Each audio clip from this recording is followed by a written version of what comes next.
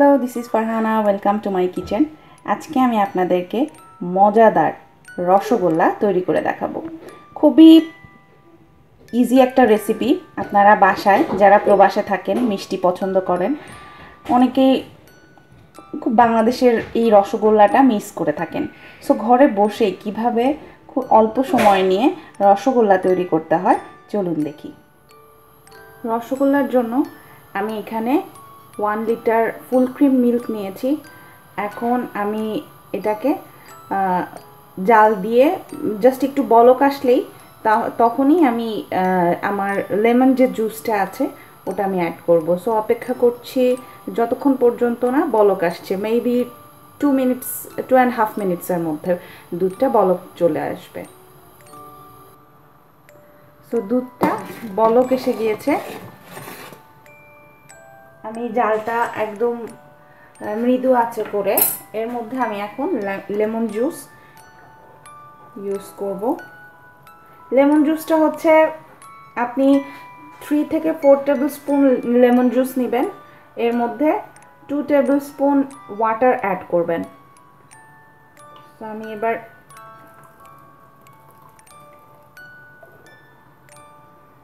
Lemon জুসটা ঢেলে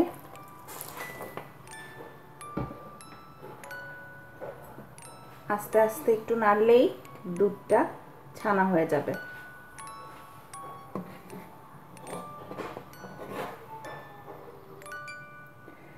so আমার ছানাটা হয়ে গিয়েছে, দেখতে পাচ্ছেন? পানি একদম দুধ থেকে ছানাটা আলাদা হয়ে যেয়ে পানিটা একদম ক্লিয়ার দেখা যাচ্ছে। সো আমি এবার এটাকে ছেঁকে নেব। ছেঁকে এবং পানি দিয়ে সামান্য একটু ধুয়ে নেব যাতে লেবুর রসের গন্ধটা চলে যায়। আমি পাতলা কাপড়ে ঢেলে নিয়েছি। এবার আমি ধুয়ে এটাকে ঠিক এইভাবে চেপে চেপে পানিগুলো এক্সট্রা যে ছানার ভেতরে পানি আছে এবং আমি নর্মালি এক্সট্রা ঠান্ডা পানি দিয়ে ছানাটাকে ধুয়ে নিয়েছি। সো এইভাবে করে পানিগুলোকে চিপে চিপে ফেলে দিতে হবে। আপনারা ইচ্ছা করলে ঝুলিয়েও রাখতে পারেন। আধা ঘণ্টার মতো, চল্লিশ মিনিটের মতো যদি আপনি ঝুলিয়ে রাখেন, তাহলে আপনার ছানা থেকে সব পানি ঝরে যাবে। একটা জিনিস সবসময় মনে রাখবেন, রসগোল্লা কিংবা যে কোনো মিষ্টি বানানোর ক্ষেত্রে যদি ছানার ভেতরে পানি থেকে যায়, তাহলে আপনার মিষ্টিটা ভালো হবে না। সো পানিটা সবসময় খুব ভালো মতো ফেলে দিতে হবে। এরপর আমি এখানে তিন কাপ পানি দিয়েছি। তিন কাপ পানির মধ্যে জালটা ধরিয়ে দিলাম। আমি এখানে দুই কাপ সুগার অ্যাড করছি। এটা হতে থাক। এটা হতে হতে আমি এখানে সামান্য একটু লেবুর রস অ্যাড করব। সামান্য, খুব দুই তিন ফোঁটা। মিষ্টিটা যখন আমি ফ্রিজে রাখব, তখন যাতে চিনি চিনি মিষ্টি মিষ্টি টাইপের না হয়ে যায়। সো এখন আমি এটা বলক আসতে থাক। আমি এখানে ছানাটা একদম দেখতে পাচ্ছেন, পানি নেই, খুবই সফট একটা ছানা। এর মধ্যে আমি এখন এলাচ এলাচ আমি ক্রাশড করে এর ভেতরে দেব। আমি এই শিরাটার মধ্যে একটা জাস্ট এলাচ দিয়ে দিচ্ছি। আমি এবার ছানাটার মধ্যে সামান্য এক চিমটি পরিমাণে এলাচ ক্রাশড করা দিয়ে দিচ্ছি। এরপর এটাকে খুব ভালো মতো ছেনতে হবে। আমি প্রথমে আঙ্গুল দিয়ে ঝরঝরা আছে জাস্ট একটু এভাবে মাখিয়ে নিচ্ছি। এরপর আমি আমার হাতের ঠিক পাম্প দিয়ে এটাকে জাস্ট এইভাবে করে ছেনতে হবে। ছানার পর যখন আপনি দেখবেন আপনার ছানাটা খুবই স্মুথ এবং ছানাটা দিয়েই অয়েলের মতো একটা বের হচ্ছে যে আপনার হাতে লাগছে না। তখনই আপনার এটা মিক্সড করা হয়ে যাবে। খুবই ভালো মতো আপনারা ইচ্ছা করলে ব্ল্যান্ডারের সাহায্যেও এটাকে ছেনতে পারেন।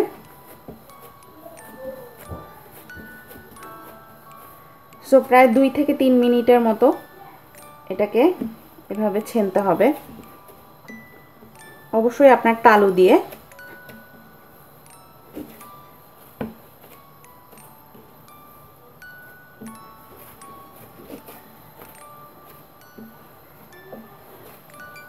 সো এইভাবে আমি দুই থেকে তিন মিনিটের মতো এটাকে ছেনবো। আমি আমার ছানাগুলোকে ভালো মতো ছেনে এটাকে আমি তেরোটা মিষ্টি তৈরি অর্ধেক এরকম করে রেখেছি মিডিয়াম সাইজের আপনারা ইচ্ছা করলে যে কোনো শেপ যে কোনোভাবে ছোটও করতে পারেন বড় করতে পারেন। সো এখন আমি এটাকে খুব প্রথমে ভালো মতো এভাবে চেপে চেপে বল বানাবো। তারপর দুই হাতের মাধ্যমে ঠিক এইভাবে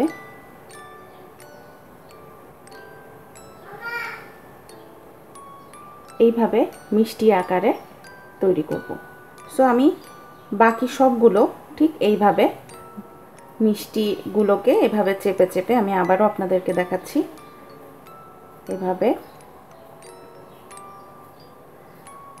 চেপে চেপে এরপর আমি দুই হাতের মাধ্যমে ঠিক এইভাবে গোল করব।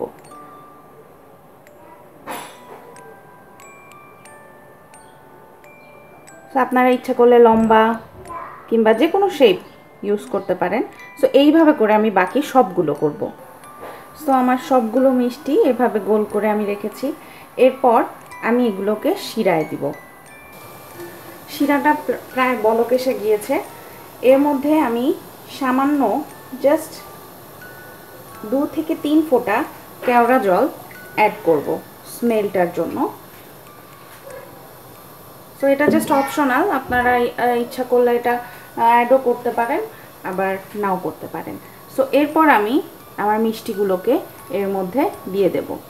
দিয়ে দিয়ে এটাকে ঢাকনা দিয়ে প্রায় বিশ থেকে পঁচিশ মিনিট আমি এটাকে চুলায় রান্না করব। অবশ্যই ঢেকে সো এখন আমি এটাকে ঢেকে দেব প্রায় ২০ মিনিট। এর মধ্যে আমি একবার চেক করব। যদি আমার, অবশ্যই এটা মিডিয়াম আছে না, অবশ্যই হাই হিটে এটা করতে হবে। আপনি যদি দেখেন যে আপনার শিরাটা কমে আসছে, তখন আপনি সামান্য এক জাস্ট একটু এক চামচ পানি, গরম পানি উপর দিয়ে দিয়ে দেবেন। যাতে কনসিস্টেন্সি শিরা যাতে বেশি হার্ড না হয়ে যায়। সো আমি এবার এটাকে ঢেকে দিচ্ছি। অবশ্যই এইরকম একটা ঢাকনা দিয়ে ঢাকতে হবে। যদি আপনি অন্য যেসব ঢাকনাগুলো আছে, যেগুলো বাষ্প হয়ে পানিগুলো উড়ে যায়, ওই ঢাকনাটা ইউজ করা যাবে না। সো আমি এখন প্রায় দশ মিনিট অপেক্ষা করছি। প্রায় দশ মিনিট পর, চলুন দেখি কী অবস্থা। মিষ্টিগুলো ফুলে একদম ডাবল হয়ে গিয়েছে। শিরাটাও এখনও কমেনি। সো আমি এটাকে আবার আপনারা দেখতে পাচ্ছেন, একা একাই মিষ্টিগুলো ঘুরে ঘুরে যাচ্ছে। সো আমাকে এটা নাড়ারও কোনো দরকার নেই। সো আমি এটাকে আরও পনেরো মিনিট রান্না করব। চলুন দেখি আমাদের রসগোল্লার কি অবস্থা।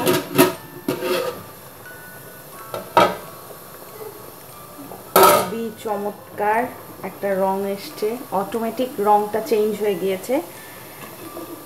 আপনারা কীভাবে বুঝবেন যে রসগোল্লাটা হয়ে গিয়েছে?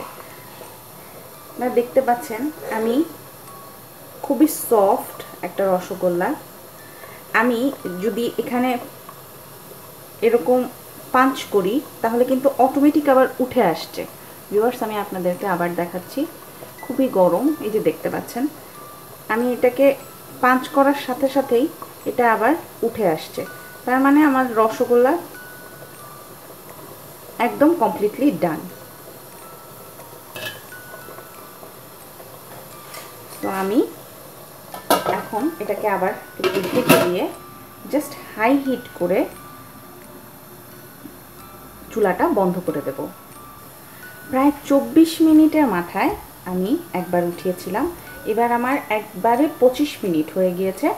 পঁচিশ মিনিট পর আমি এক মিনিট আগে আমি এটা উঠিয়ে আপনাদেরকে ভিউয়ার্স দেখিয়েছি। জাস্ট এক মিনিট পর, পঁচিশ মিনিট টোটালি পঁচিশ মিনিট পর আমি হাই হিট করে দিয়েছিলাম চব্বিশ মিনিটের মাথায়। এক মিনিট আমি হাই হিটে রেখেছি একেবারে। এবার আমি ঢাকনাটা খুলে আপনাদেরকে দেখাচ্ছি। দেখতে পাচ্ছেন? খুবই সুন্দর একটা রং এসছে।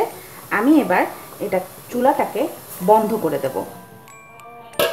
বন্ধ করে দিয়ে আমি এটাকে এভাবেই প্রায় তিন থেকে চার মিনিটের মতো ঢাকনা দিয়ে ঢেকে রাখব। ভিভার্স প্রায় পাঁচ মিনিট পর আমি এটাকে সার্ভিং ডিশে ঢেলে দিয়ে, দিয়েছি। আপনারা দেখতে পাচ্ছেন খুবই সফট, খুবই স্মুথ একটা রসগোল্লা। আপনারা বাসায় অবশ্যই আশা করি ট্রাই করবেন আমার রেসিপি মতো। কেউ চাইলে গরম গরম খেতে পারেন, অনেকেরই গরম পছন্দ। গরম গরম মিষ্টি, আবার অনেকেরই ঠান্ডা করে মিষ্টি পছন্দ। আমি আপনাদেরকে একটা কেটে দেখাচ্ছি, খুবই সফট মিষ্টি।